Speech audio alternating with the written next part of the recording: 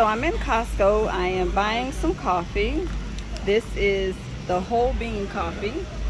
And in case you didn't know, Costco has an area where you can grind your own coffee beans.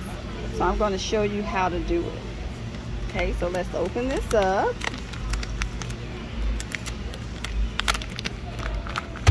And then they have scissors here where you can cut it open. So we're going to cut that open. Mm-hmm.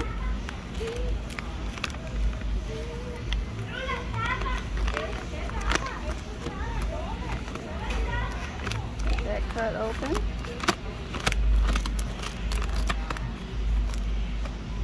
Okay, and then we're going to take the lid off here.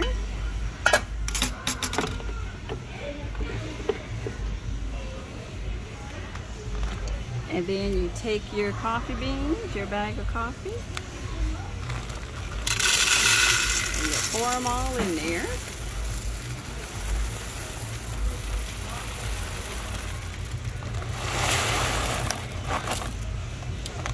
There we go. Make sure we get them all out.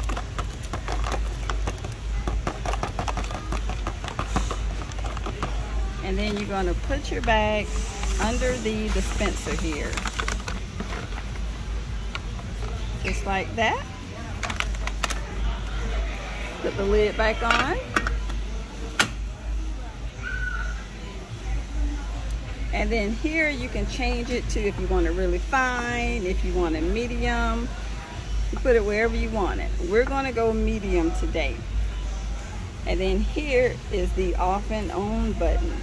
So then you just push on. And your coffee is grinding.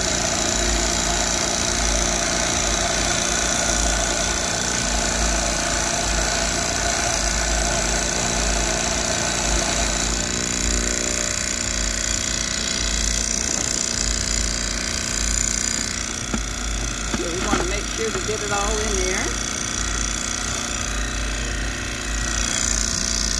And it's done. So then you hit off.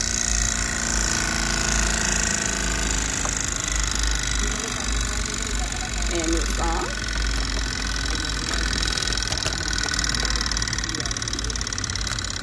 And then all you have to do is close your bag up.